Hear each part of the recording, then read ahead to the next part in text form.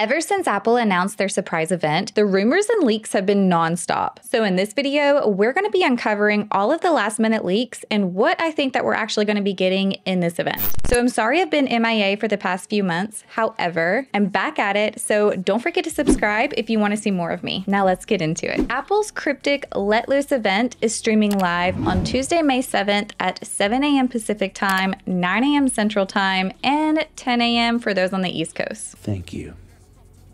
Thank you for that. Now, all of the clues for this event are practically screaming iPads, especially since we haven't really had an upgrade on these since 2022. And there's a couple of things that give this away. One being that Mark Gurman spilled the tea earlier this month that the iPads are low in stock at the Apple stores, which is a strong indicator that we'll be getting a new drop, along with him bluntly tweeting that we will be seeing the iPads during an event the week of the 6th. So he was pretty spot on with that one. Now, if you head over to Apple's website, you can see that they're advertising this event on their main page page, which every time you refresh the page, you're to see that a different Apple logo will appear. So apparently on one of these logos, you can see the word air spelt out in lowercase letters, but don't feel bad if you don't see it because honestly, I still don't. So no judgment here. Now, on their event page, you can see the hand flipping the pencil. And even Tim Cook made a subtle yet not so subtle tweet saying to pencil us in for May 7th.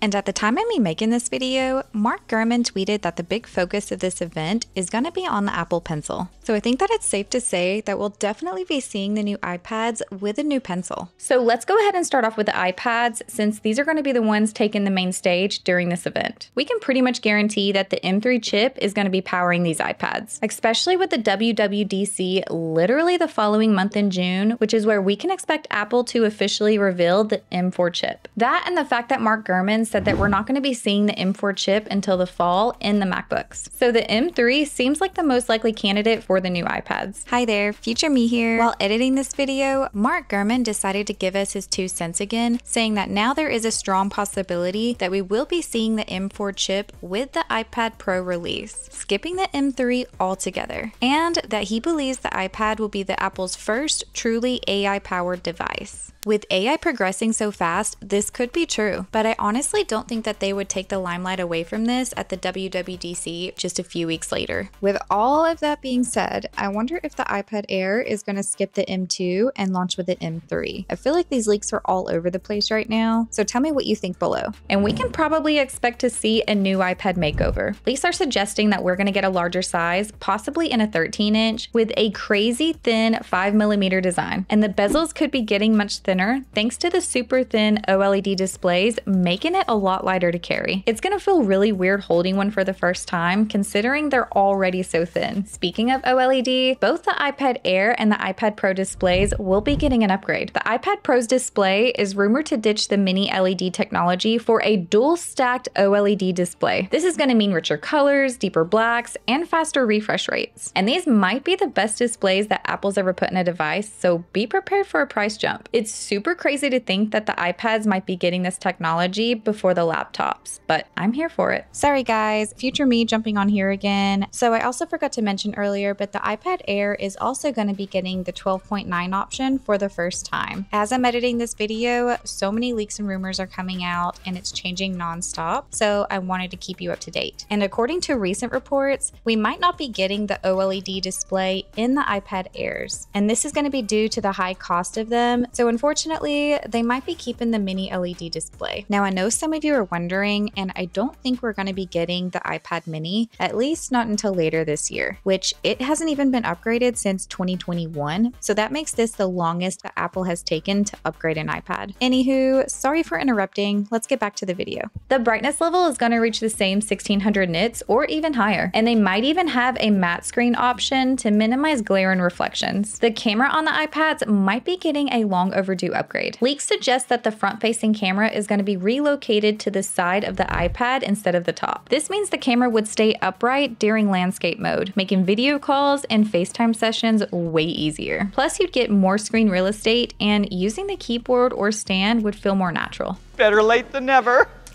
This means no more awkward video calls in landscape mode. And in doing so, this could lead to a new spot for charging the Apple Pencil. And speaking of, we've had leaks of it coming out with interchangeable tips in different shapes that will make drawing and painting even more precise. An added squeeze gesture for certain actions is also rumored, giving more versatility and customization. Hi again. I swear this is the last time that I interrupt, but it's also said that we will be getting haptic feedback in the pencil for the first time. And this is according to Mark Gurman. Okay, I'm done. And another big rumor is that it might be getting a new color sampling sensor, meaning you can touch something in real life and it'll replicate that color on your iPad. Now, this seems super cool, but I honestly don't think we're there yet. We could be, but I don't know. I mean, a touch bar like this one would be pretty awesome. Now onto the Magic Keyboard, which also might be getting a redesign as well. The redesign might have an aluminum material on the top case to make it a little sturdier. And with the redesign paired with the iPad, it's gonna resemble the way the MacBook looks. And we could also expect a larger trackpad. We also have leaks for a MagSafe on the iPads themselves, which could be a game changer, making it where we can even mount our iPads in the car for a bigger navigation screen. Now, Apple has been pushing AI like crazy, and they're expected to announce the revamped Siri and a ton of new on device AI tools with the iOS 18 release, which rumors suggest that Siri will have more natural conversations and better user personalization. Apple is also working on an improved interaction between Siri and the Messages app, so it can auto complete sentences more effectively and answer complex questions. Apple's initial plan for iOS 18 is to keep AI features running directly on the device without relying on cloud servers. This ensures faster response times and better privacy control. Gurman has said that it could be one of the biggest iOS updates, if not the biggest. So I'm pretty excited to see what this iOS 18 is all about. Now, like I said earlier, with the WWDC literally being right around the corner and the iPad event being so close to it, we might be seeing a lot of these features on the new iPads. Now, I'm sure you've heard about this one, but one of the bigger updates with Apple is that we're finally getting the calculator app on the iPad. Considering what Apple's accomplished over the past however long, I'm sure adding the calculator app was very challenging for them. So let's give them a hand of applause.